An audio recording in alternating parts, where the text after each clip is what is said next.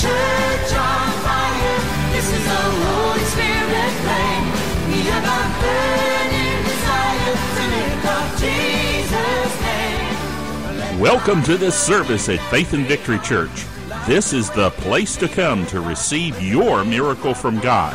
Now, let's join our service already in progress. We're talking about Paul's uh, letter to the church at Rome. And uh, we're, we started into chapter 8 last week. So we've covered uh, sin, why we need righteousness. We've covered salvation, where righteousness has been imputed. We've covered sanctification, where righteousness is imparted. And that's where we are right now in the chapter 8. We've covered chapters 6 and 7. Of course, we've covered all the previous chapters of the book of Romans. So go ahead and open your Bibles to Romans, the eighth chapter, as we continue in our journey with the life and teachings of Paul. Paul is in Corinth writing. He's been there for several months writing. Hallelujah. Amen. Let's go ahead and back up back to the verse verse 1 of this chapter. There is therefore now no condemnation to those who are in Christ Jesus, who walk not after the flesh, but after the Spirit. And we've talked about this. You know, there are those who say from the minuscule um, or minuscule uh, manuscripts that this phrase, who walk not after the Spirit, but after the flesh, or I mean, after the flesh, but after the Spirit, are not in the original. And the problem is they are in the, the majority text. They're not in the minority text, so there's disagreement. Most of our modern translations have been taken from the revised version, which was taken from the minority text. So, uh, a, almost every translation that's modern now uses the RV as a basis to work from uh, in its research. So, um, there's going to be continuity because that's what they're using. King James uses the majority text, and um, you know what we do is we say this it's, it's in verse 1, but it's also in verse 4. And since it's all working together, it's there. All right? Hallelujah. For the law of the Spirit of life in Christ Jesus has made me free. And again, if you don't walk in this flesh, you won't be condemned. And not God condemn you, your own heart will condemn you if you walk in sin. Um, for the law of the Spirit of life in Christ Jesus has made me free from the law of sin and death. For what the law could not do, in that it was weak through the flesh, God sending his own Son in the likeness of sinful flesh, and for sin, condemned sin in the flesh, that the righteousness of the law might be fulfilled in us, who walk not after the flesh, but after the Spirit. Um, for they that are after the flesh do mind the things of the flesh. Now, listen, if you're. Uh, even as a born again believer, and Paul said some things. He's, remember, he said back in chapter 6, we're no longer under the dominion of the nature of sin. We are walking or living or born into a whole new plane altogether. But he also comes back behind that and says, But if you yield your members as servants of unrighteousness, then that's what's going to dominate you. Because whoever you yield yourself to will have, or lord over you, have control over you. But the law of sin or the nature of sin cannot constrain you, cannot make you obey it. When you were dead, uh, dead to righteousness and alive unto sin, sin constrained you. Sin had, dom- had dominion, had authority to force you to obey it. You sinned. Why? Because that's what you did. And really, anything you could do to stop it. And when the, when the law came, all they could do is tell you how sinful you were because you, could not, you couldn't keep the law. And then people came along and said, well, you know, now I'm under grace. It doesn't matter what I do because I'm going to heaven anyway. But when Jesus came, I think Jesus knew something about grace. I, I'm just guessing. The head of the church, second person of the Godhead, God manifest in the flesh. I think he knows a little bit about the subject of grace. Could be wrong, but I'm pretty sure he knows something. And when he came, he didn't say, go ahead and do whatever you want to, it doesn't matter. He said, man, if you look at a woman you t- to lust after her, you committed adultery. He said, the law says if you commit it, you know, that's a problem. But he said, I'm telling you, if you look at her and think about it, you've already done it. He raised the standard. He didn't lower it. That went over big. Can I get a couple grunts? That's all I want out of you. My favorite baseball team, Oakland Lost in 12 innings last night to Kansas City. I get a text this afternoon. How about them Royals? The person at Senate got back, strike three, you're out. so his Dr. Pepper is in glass bottle, the one that I was going to give him, he just is not going to get now. I will drink it in celebrating the Kansas City victory. They that are after the flesh. If you walk after the flesh, you're going to mind the things of If you give yourself to fleshly things, you're going to be mindful of fleshly things.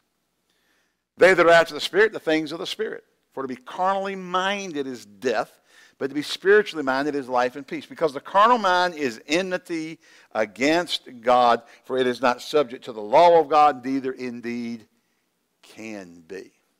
And that's why we are told.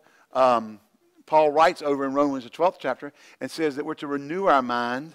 Break, you know, be, uh, be not conformed to the world, be transformed by the renewing of your mind. Why? Because the carnal mind can't be subject to the law of God. It has to have a metamorphosis. It has to be transformed. James said, receive with meekness the engrafted word, which is, which is able to save, or uh, the, the word save is sozo. It's out of the sozo word group. Means to, and also means to restore or make whole your soul, your suke. So James says, receive the word so it'll restore or make sound your suke.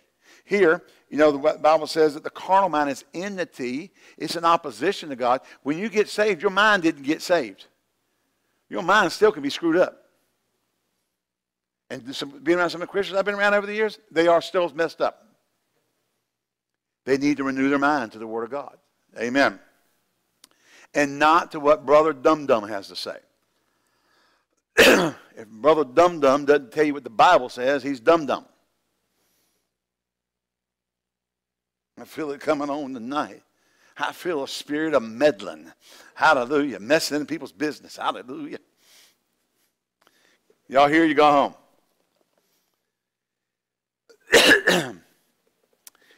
but I said, so then they that are in the flesh cannot please God. They that are in the flesh cannot please God. But ye are not in the flesh, now, we says something interesting here. He says, They that are in the sphere of the flesh cannot please God. But you're not in the sphere of the fle- spirit, flesh, you're in the sphere of the spirit. Now, remember, we read back over in chapter 6 how that J.B. Phillips said that when we got saved, we walked in, we, we came or were brought into a whole new plane altogether. And that is the plane where we live out of the all the spirit of life that's in Christ Jesus. Amen. We're to walk in newness of life. We walk in a whole new plane altogether. Yet he comes back behind that and reiterates that if you yield yourself, now what is this? The law, the, the, the realm of, that, we, that we're called to, the realm that we've been raised to, raised us up together, made us sit together with him in heavenly places in Christ Jesus, Ephesians chapter 2. That realm that we've been called up to is where we're to abide. Yet Paul says, don't yield your members as servants of unrighteousness. What? Don't come down for the place that we're called to. Don't come down and subject yourself to the laws that you once walked in, the laws of sin and death, the laws where the nature of sin has dominion. And Paul says here, we're not in that sphere. We weren't, we weren't brought into that sphere. But you can put yourself back down there if you want to. You can go walk in it.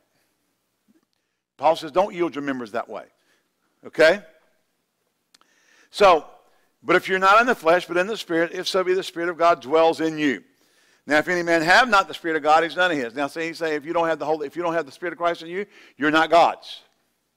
And if Christ be in you, the body is dead because of sin, but the Spirit is life because of righteousness.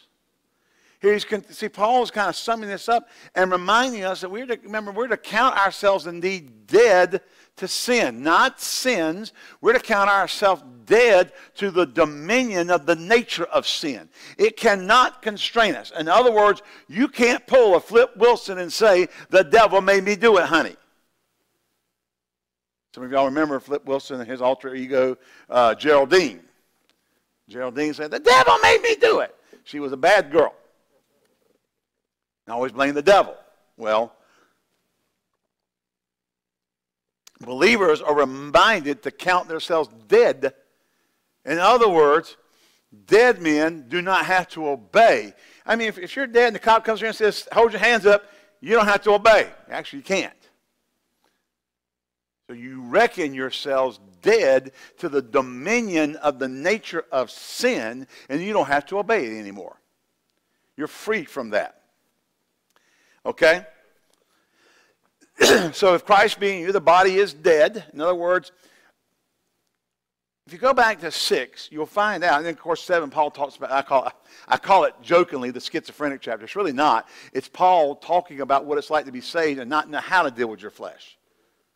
See, the new creation, he, but then he learns that in Christ Jesus he has authority. You're dead to sin. Count yourself dead to sin. Amen. And if Christ is in you, the body is dead. In other words, the, the appetites of the nature of sin that's in the body I mean, found your body's not redeemed. If you haven't found that out, you got saved when you walked through the door and you ain't had enough time. Your body's, your body's not redeemed. As a matter of fact, the, the promise of the glorious possession, uh, the seal of the Holy Ghost, is on the promise, the, the promise redemption is for your body that in that day when Jesus comes back, this corruptible shall put on incorruption, this mortal shall put on immortality. We change in the moment in the twinkling of an eye. And we which are alive and, and, and, remain shall not prevent them which are asleep. But the dead in Christ shall rise first. And the, we which are alive shall be caught up in the air with them, and so shall we ever be with the Lord. At that point in time, there is the fulfillment of the, the fullness of the plan of redemption, and that is the completion of the redemption of your body. Your spirit's already saved. Your mind is in the renewing process, and your body's got a promise of Jesus coming back and getting the new one. Woo! Hallelujah! Was that Kristen?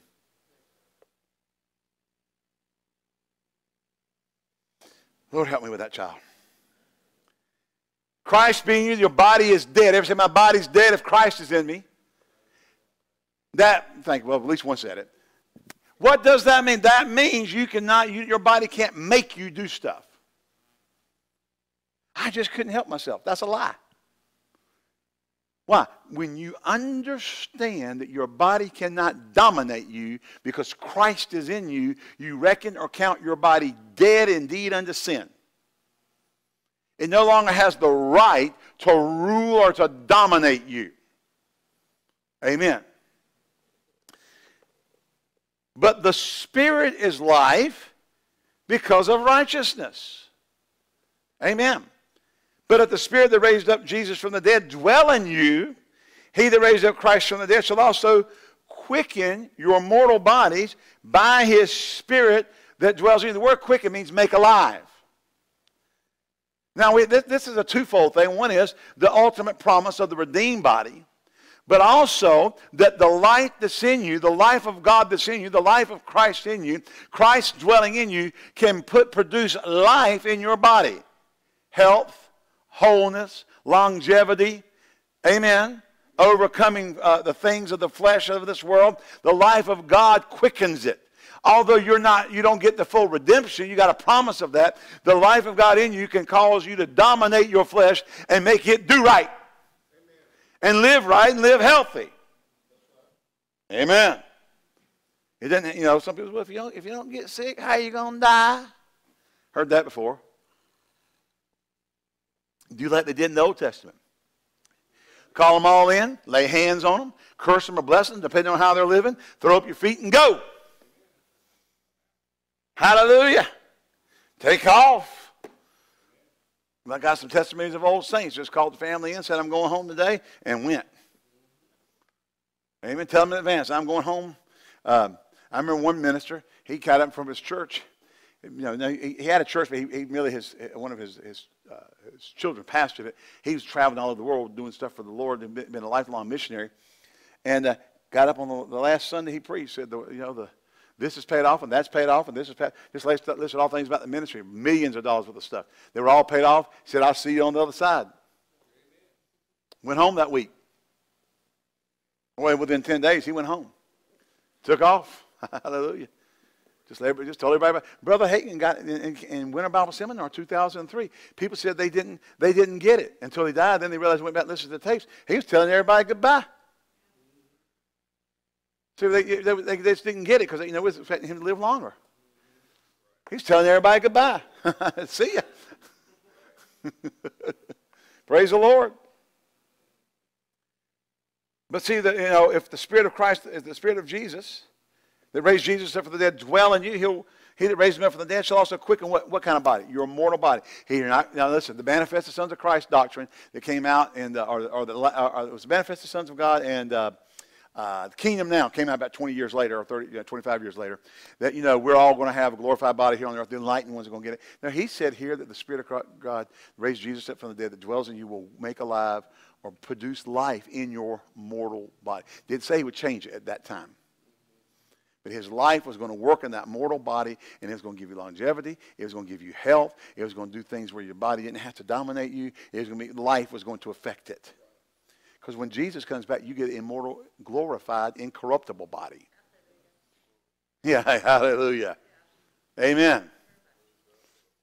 Can you say amen? I just think, you know, we, it's, a, it's an exciting thing. I said it's a glorious thing. God's life in us is doing all kinds of wonderful things. Stop trying to make it do stuff that God didn't say it was going to do. Why? Because you'll be disappointed. I, I, just, I wish I could read it. Maybe I can. It might fit in here. I've got a good friend. I love my good friend stuff. Hallelujah. Who, who said something?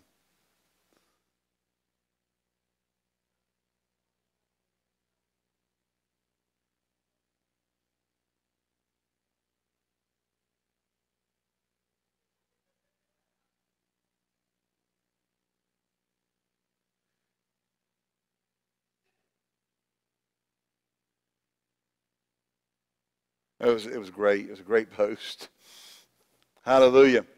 See, we got preachers there. How many read Facebook? I declare that all the demons in hell and all the discontrolling spirits and this and that and all of that are not going to bother you today and you're just going to be free. Just, just a random post. By what authority did that in everybody's life? Did Jesus do that where he went? Did Jesus walk into a town and say, I demand all the controlling spirits of this town to be broken off of everybody's life? You ever see Jesus doing that? Guy Dunnick, I love Guy, said this today. I believed the soul stirring message of a preacher who prophesied and declared that God was going to fight all my battles for me and that I needed, all I needed to do was stand and watch the rest. Glory, amen, hallelujah. So I removed my helmet, took off my breastplate, set down my shield, and retired my sword, said the dead man.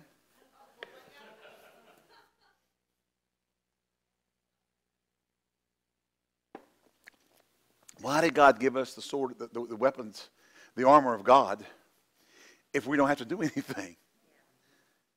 He said, Wherefore take unto you the whole armor of God that you may be able to withstand in the, that you may be able to withstand in the evil day.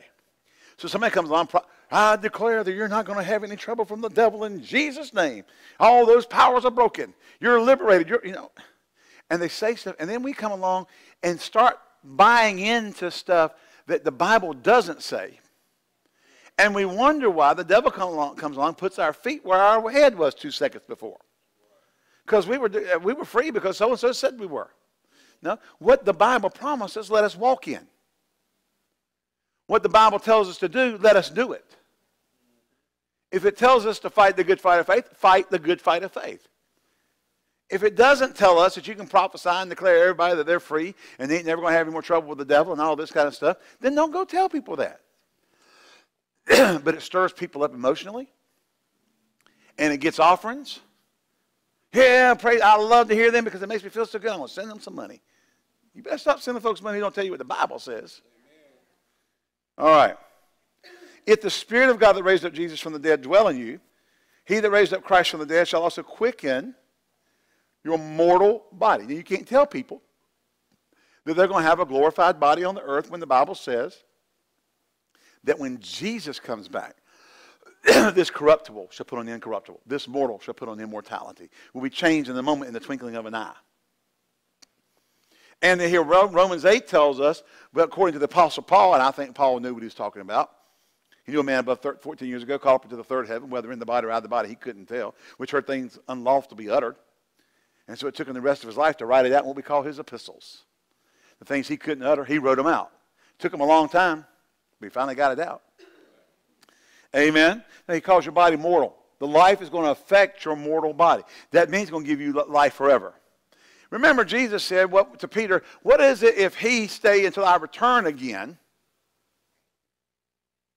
Amen. You feed my sheep. And then in the rumor, and even the Bible says, and the rumor went out that he, that he, he, he was going to live until Jesus came back. I remember when I first got saved, there were people going around telling everybody that, that John was still alive somewhere because Jesus said he was going to stay here until he came back. You always have somebody believes that. There's always a group of people saying that kind of stuff. Well, if you read the rest of it, John disclaim, discounts that. And he said simply, he was saying, What is it to you if I want that? You do what I tell you to do. In other words, don't worry about John. See, people get a hold of stuff and run off the deep end. No, the life of God will affect your body. It can make your body well. It can give you longevity, but the Bible still doesn't promise you, promise you your body won't die unless you're alive when Jesus comes back. Amen. When Jesus come back, we which are alive and remain at that time. In other words, if you're alive at that time, you will not prevent or go before the ones that are asleep, but the dead in Christ shall rise first. He didn't say you say you can all turn into man, the, the God's manifested sons and walk around on the planet. And, you know, when you go kingdom now, kind of like the mothership for the New Agers. It was the Christian New Age doctrine, and it wasn't even based on anything biblical. That, that's the thing. See, the church gets a bad name because of Looney Tunes. Hello? I mean, you got Porky, that's right, Porky the Pig up there making all the noises, you know? He shall quicken your mortal bodies by the Spirit that dwelleth in you. Therefore, brother, now listen, he just made that statement. Thank God for the life that it produces in our bodies. Can you say amen? Thank God there's a living one on the inside of us that can, that can cause our bodies to be well and cause our bodies to live healthy. But it doesn't mean you're, going, you're not going to ever die. Should Jesus tarry long enough, you will die. Physically. Dad Hagin used to say, You're not ready to live until you're ready to die. And the way you're ready to die is you know the Lord Jesus Christ. You have him come into your heart. You're born again. The life of God's on the inside of you. His nature has been deposited into you. Glory be to God. Now live your life out to the fullest. And when it's time and you've lived out a full, long life, with long life will I satisfy you and show you my salvation. Glory to God. Call the kids in, bless them, whatever, and then throw your feet up and go home. At a ripe old age. Go home healthy. Go home, you know, sound. But you're going to go home. Be absent from the bodies to be present with the Lord. You're, to, you're not going to live four, five hundred years. Amen. The best we've been able to find out that the Bible, uh, after, after the fall of man and the, you know, the process of, of time, that God gave the promise of 70, 80, but, you know, that uh, for covenant people, the 125. I always like to tell people I'm on the 125 rapture plan, whichever comes first.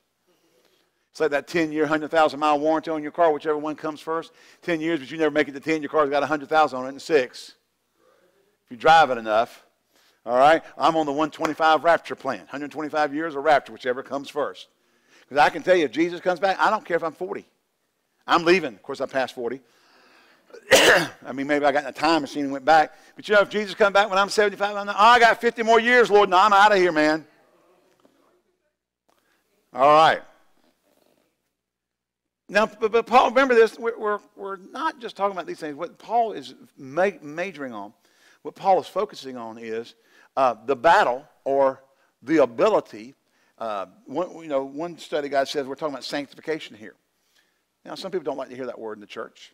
And the reason you don't want to hear sanctification in, in the church is because you want to do sin. That's the only reason. The only reason you don't want to talk about sanctification and living a holy life is because you want to sin. And I've got to say this if you want to sin, there's a problem. If you're looking for ways to sin and to get away with it, there's a problem. Oh, you're legalistic. Oh, I'm turning him off. He's not preaching grace. He's not preaching I'm free. Yeah, no, no. sin has a price. Charles Finney said, sin is the most costly, um, what, how do you say, most, is, sin costs more than anything. So sin costs more than anything. Why? Because the wages of sin is death. Sin costs. Sin doesn't pay. Believers, see, people take, take one side of something that we're righteous, that we've been freed from the dominion of sin, that the life of God's in us, you know, that we're secure in the Father, and they want to take that and push it to an extreme where it doesn't matter what you do, yet it does matter what you do. Paul is talking and ministering and sharing how to live a sanctified life. What do you mean sanctified? Separated. Come out from among them and touch ye not the unclean things, saith the Lord. That doesn't mean you can't go minister to sinners. It means that they're not your best bud. Said this Sunday. You don't go clubbing with them. They're a ministry project. Hello? Well, we're going to go out and we're going to drink. I'm just going to drink, you know, uh, light beer or near beer or, uh, yeah, I know a guy did that and he started right back to drinking. He, he, he ran a pizza place and he loved the taste of pizza and beer. Why? I like pizza and Coke, but pizza and beer. And people say, you got to acquire a taste for it. If you've, if you've got to acquire a taste for it, why are you drinking it? It's like eating chitlins. Anybody ever had chitlins? I'm telling you right now, if you got to cook your food in another town and bring it back over somewhere else to eat it, there's something wrong. I've had, I, I, my grandmama used to cook chitlins. You, could, you couldn't even stay, in there. you go outside in the middle of the winter with no coat on just to get out of the house. And then she sit down. I mean, I'm thinking, my goodness, did you get any corn? Some of y'all get that later. They didn't get them cleaned out enough.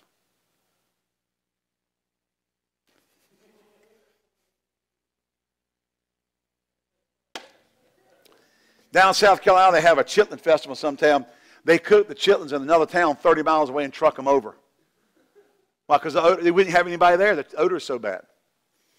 Well, this guy got, you know, drinking what they call near beer. It was like less than a half a percent content. It's supposed to be basically, basically for all practical intents purposes, non-alcoholic. Next thing you know, drinking regular beer, backslid, divorced.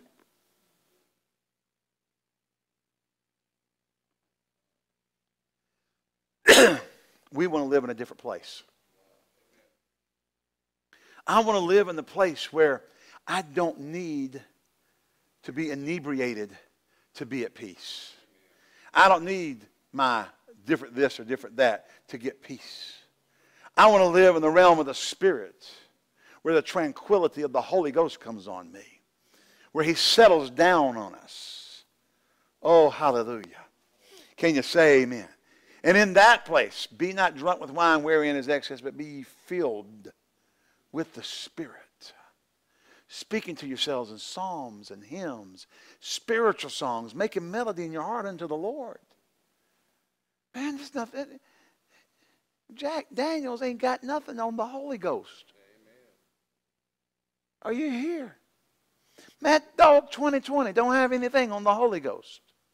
Because I can tell you, they can get you inebriated and you can forget about everything and wet yourself and do all kinds of nasty stuff. Because you're so drunk. But you can get into the presence of God.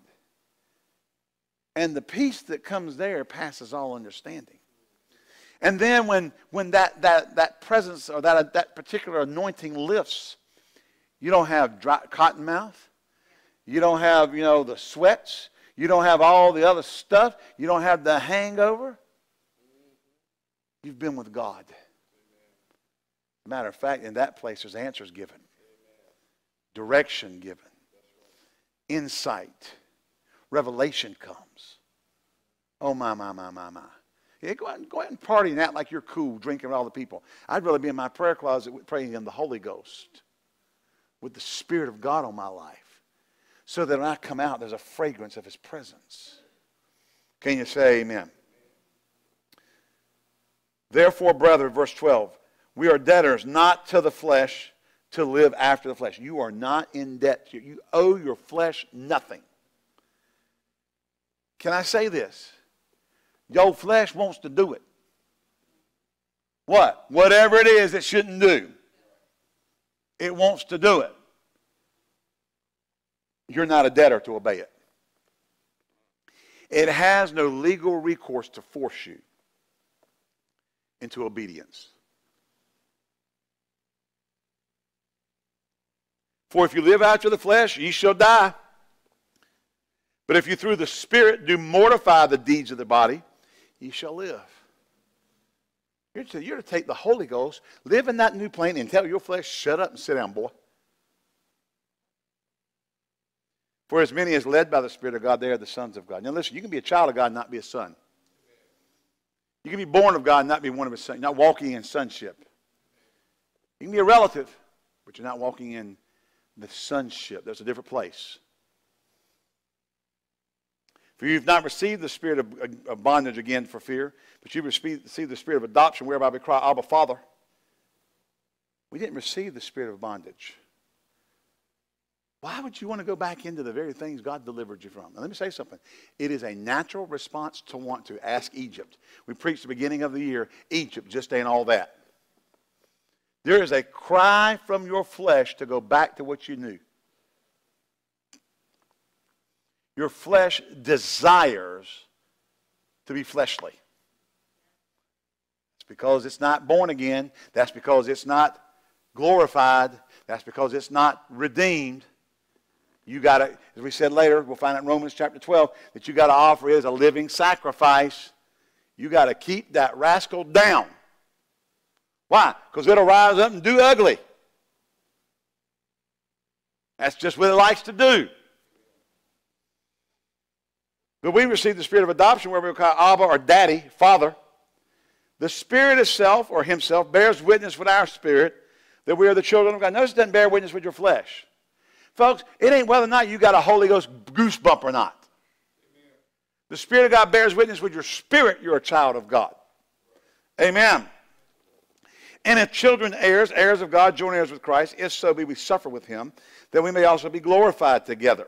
For I reckon that the sufferings of this present time are not worthy uh, to be compared with the glory which we uh, shall be revealed in us.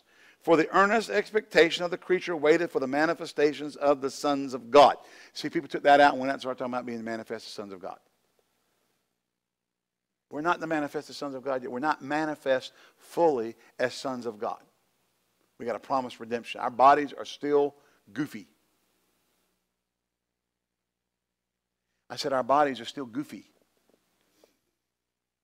Your body, if you let it, will go out and do goofy stuff. And you have to tell it no. And you have the authority to tell it no. And you don't have to lay down and let it do what it wants to do. And you don't have to say, I can get away with doing what it wants to do because I'm under grace. That's just stupid. You will reap a just recompense of reward if you do that. You might not go to hell, but you sure won't be enjoying what you're doing when you're on the way to heaven. And you won't like it when the Lord gets you into heaven and talks to you about it. And all your rewards get shifted over to me. I don't like what he preached. I got your rewards.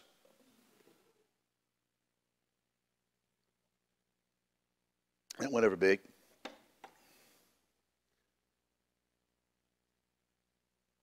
For the creature was made subject to vanity, not willingly, but by the reason of him who is subjected him, the same in hope because the creature itself also shall be delivered from the bondage of corruption into the glorious liberty of the children of God. We know that the whole creation groaneth and travaileth in pain together until now. And not they only, but ourselves also, which are the first, had, the, had the first fruits of the Spirit, even we ourselves groan within ourselves, waiting for the adoption, that is, to, to know the redemption of our body. so Paul brings it. He, he even talks about the body as like a, a separate entity. Why? Because it is in the sense that your spirit is the, is the real you. Your body's your earth so You got to have it to live here. Your soul is your will, your mind, your intellect, your emotions. We groan for the redemption of our bodies. Wouldn't it be great if we had the glorified, immortal, incorruptible bodies walk around, didn't ever think about sin, didn't ever have to deal with sin, never, I mean, you could put your body out in the backyard and turn it loose and it wouldn't do anything wrong. Wouldn't that be great? Take it out and just turn it loose, tell it to do whatever it wants to do, and it will do stuff. Or at least try to do stuff.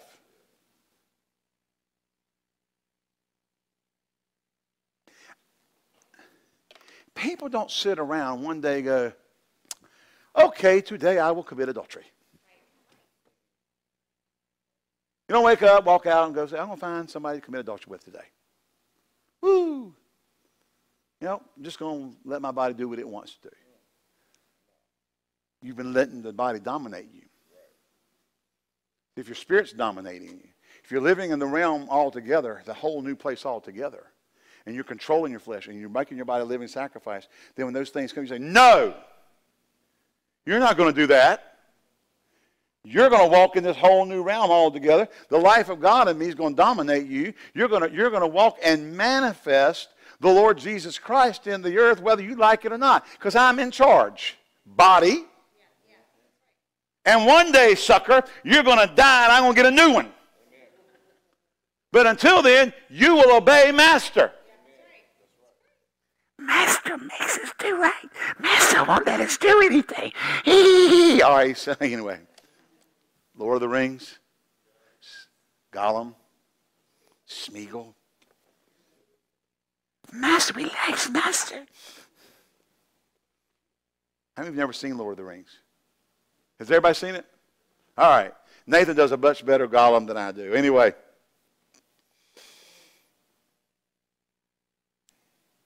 Because the creature itself also shall be delivered from the bondage of corruption into the glorious liberty of the children of God. For we know that the whole creation groaneth and travaileth in pain together until now. And not only they, but ourselves also, which have the first fruits of the Spirit, we ourselves groan within ourselves, waiting for the redemption, to wit, or to know the redemption of our body. For we are saved by hope. Now, it says not your spirit is saved by hope. We are, our body is saved by hope.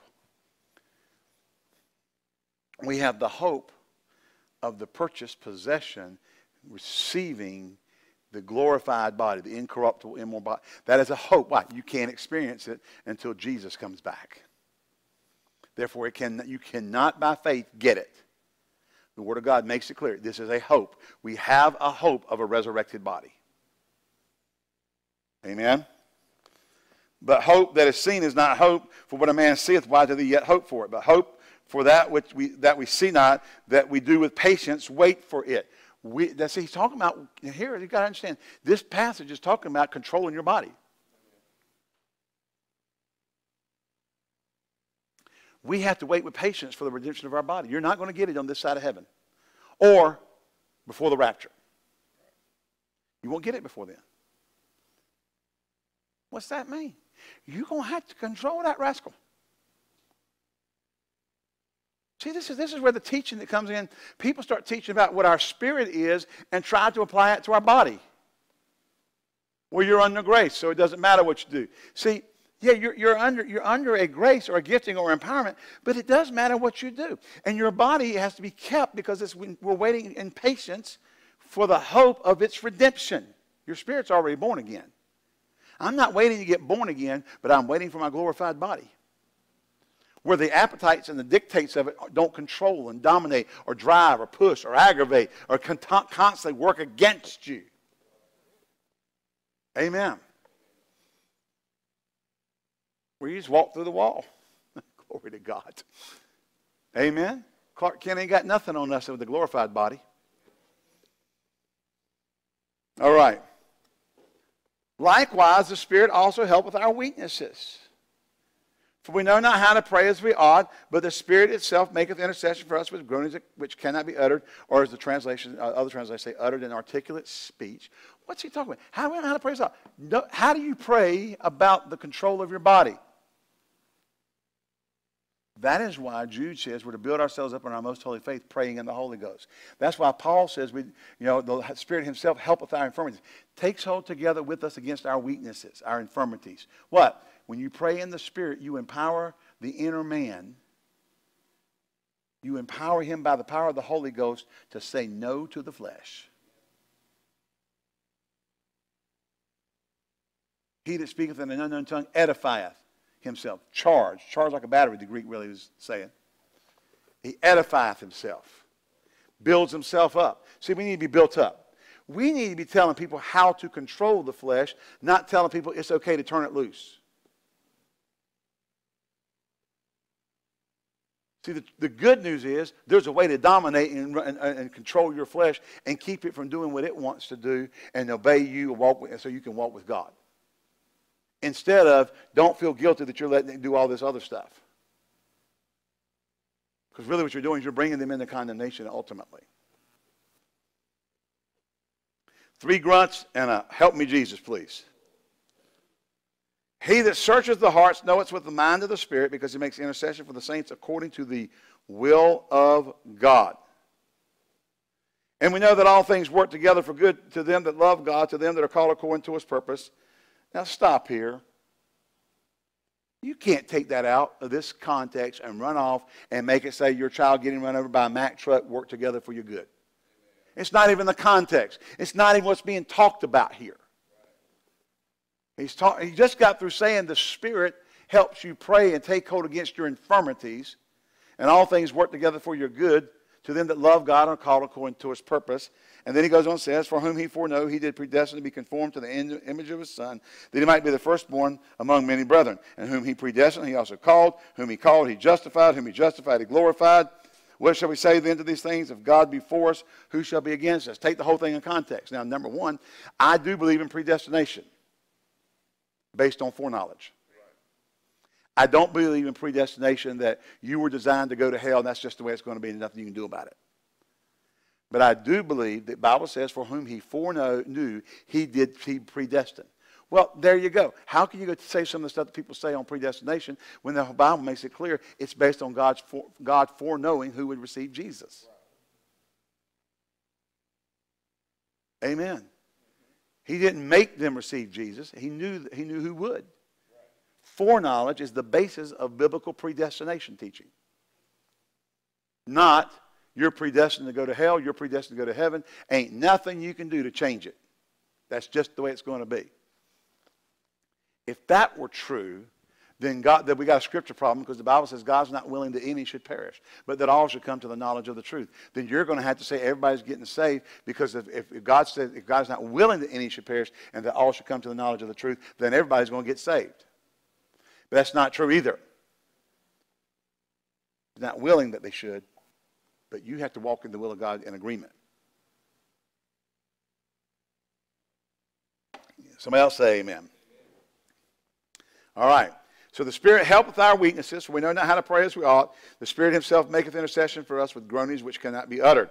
And he who searches the hearts knoweth what is the mind of the Spirit, because he makes intercession for the saints according to the will of God or according to God. His prayer for you is going to be in line with God's will.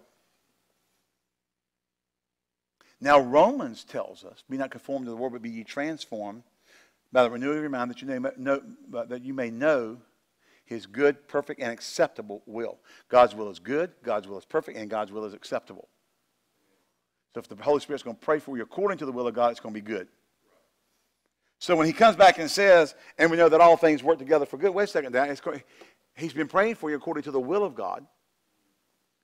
He's not praying for you that you're going to get your baby killed so he can teach you something. Hello? God is a good God. Amen.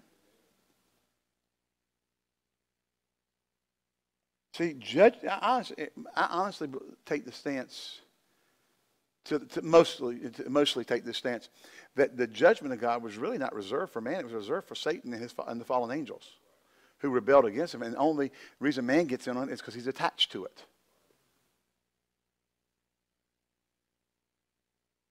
You stay with Satan, you get, you get cooked. Remember when Moses, you know, God gave the opportunity. To Moses said, everybody come, wants to be with God, come over here. They came over and threw the stones, and all those people got swallowed up. Why? They chose to stay in that place. They chose not. They did not choose to come over with God.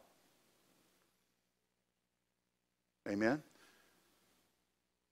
And so, we have to understand that the flesh, the things that God, so all the things that work together for our good to them that love God and call according to his purpose, we get this idea that God does all kinds of mean stuff to his kids. God's just knocking his kids out.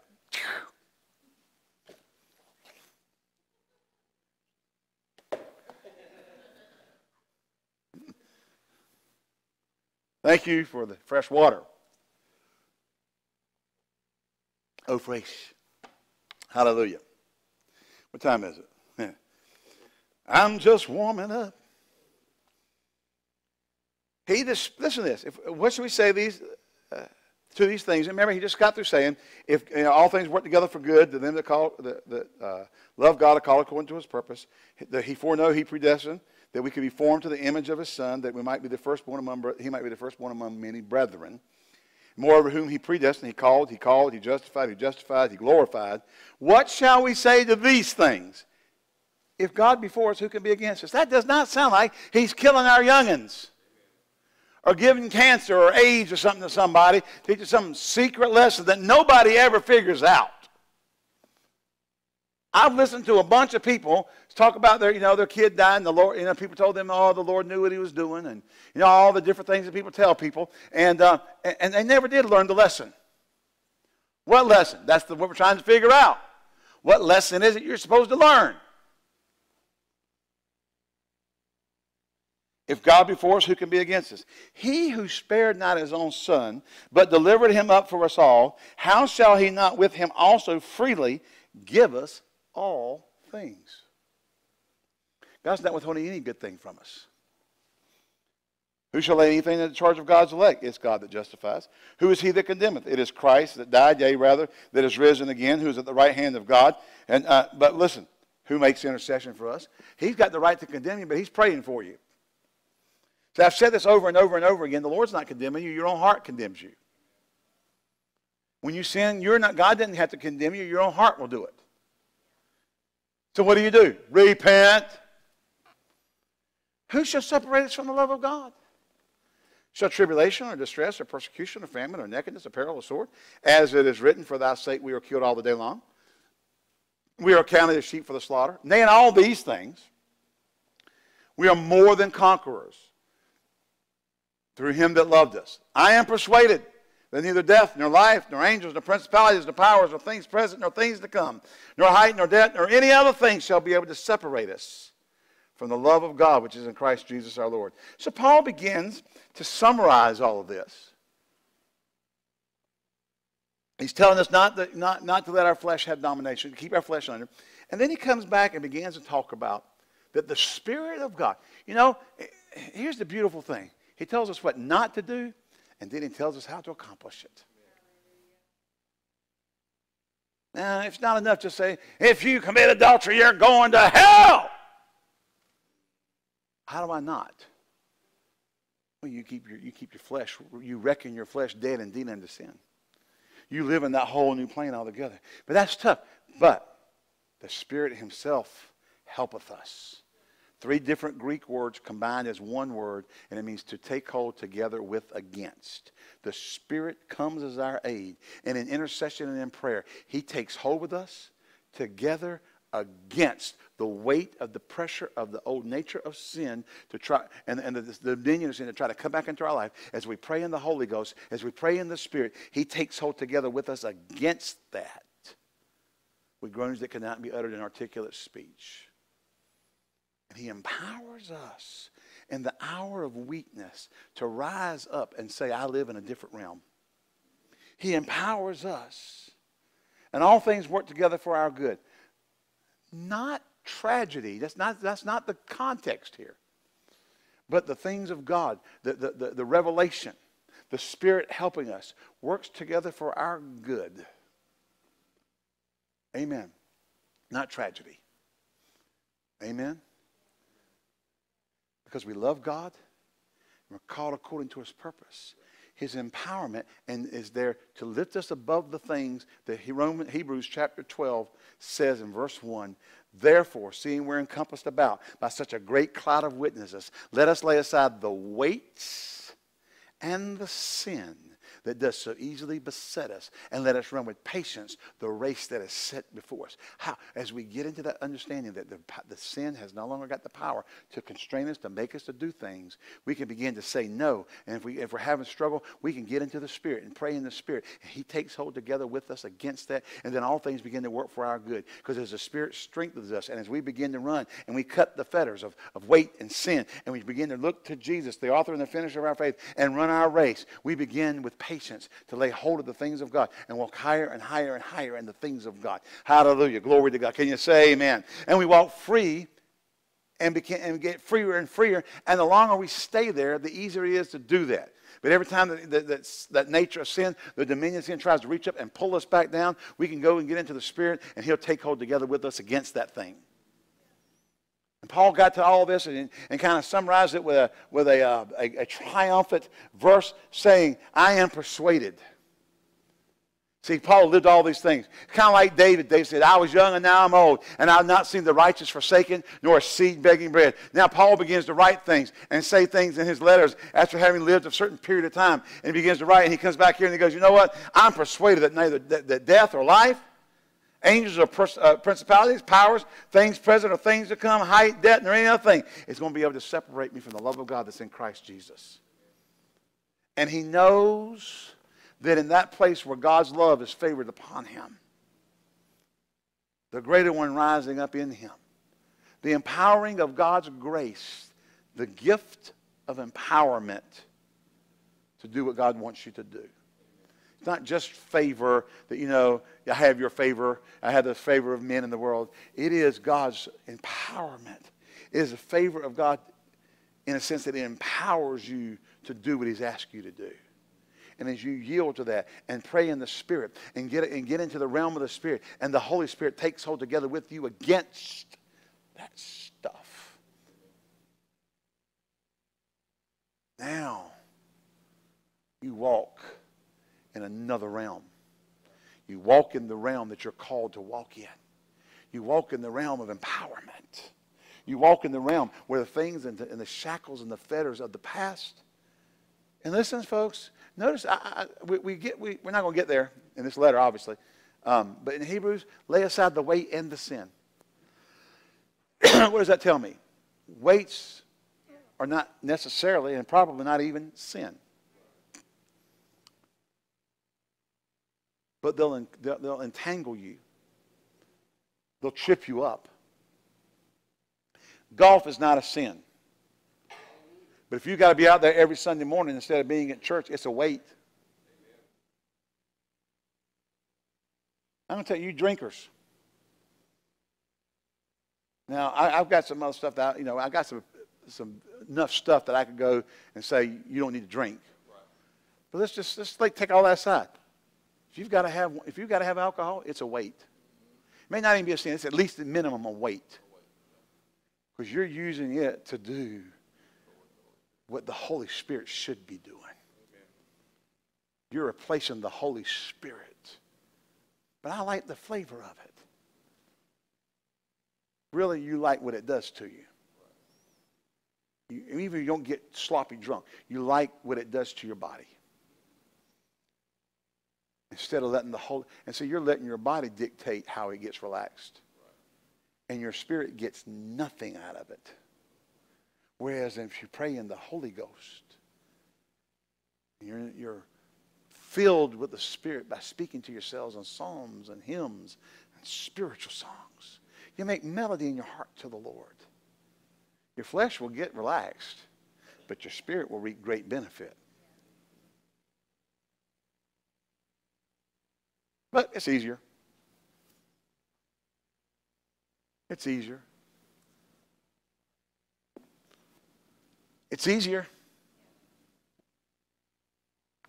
I said it's easier. It takes no effort. But you see that weight. And God doesn't want us encumbered with weights, nor does He want us encumbered with sin. God wants us liberated to rise to walk. As a deer panteth after the water, so my soul longeth after thee. I remember my graduation sermon from Rhema in 1981. We had some very um, scarcely known minister preach our graduation. Oral Roberts. Brother Roberts preached my graduation from Rhema and he preached tracking with God. And he talked about that we're the hinds feet. He used scripture in the Old Testament about, you know, the, the, the, the hind feet, you know, how the, when the deer runs, his front, front uh, I guess hooves, come down. And when they come up, the hind feet come up and land in the exact same spot. And they push off, and then the front feet come forward and hit. And when they come back up, the hind feet come up and land in the exact same spot. My sermon, this graduation sermon was tracking with God. Oh, how it is when we walk with God. When we walk in the Spirit and He is leading us and guiding us, and His, his, the, the front feet of God hit the ground and come up, and then we come and step right in His place. The surety of knowing that every place where He, he lands in front of us, we land in behind and come in right behind Him. That's where God wants us. God wants us tracking with Him. And Satan will come and offer you a different track. The flesh will try to rise up and give you a different path.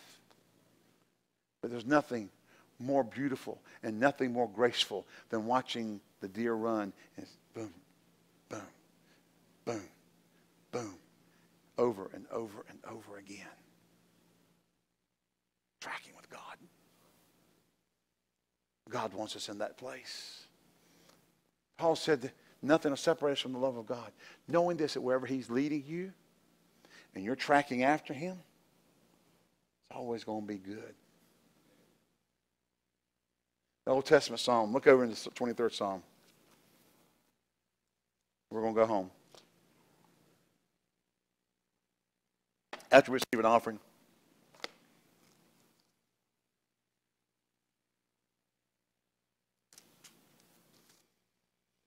The Lord is my shepherd. I shall not want.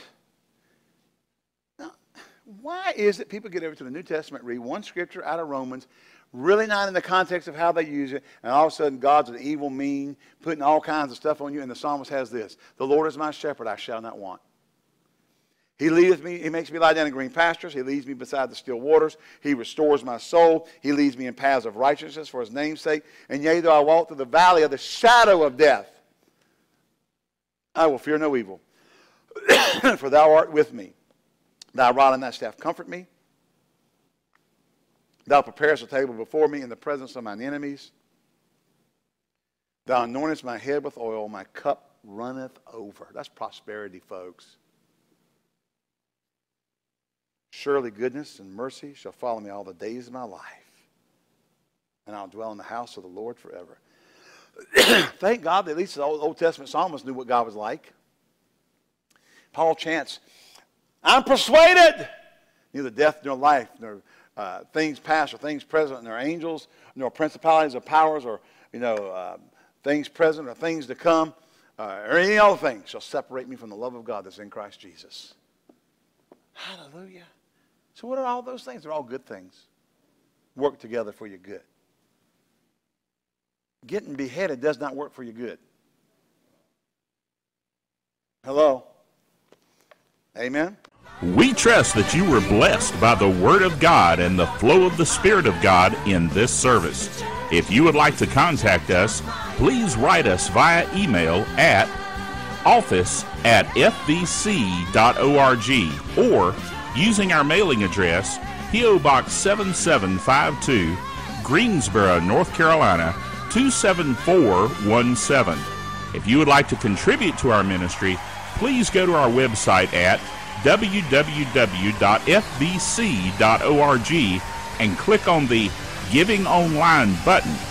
Thank you, and may God richly bless you for your giving.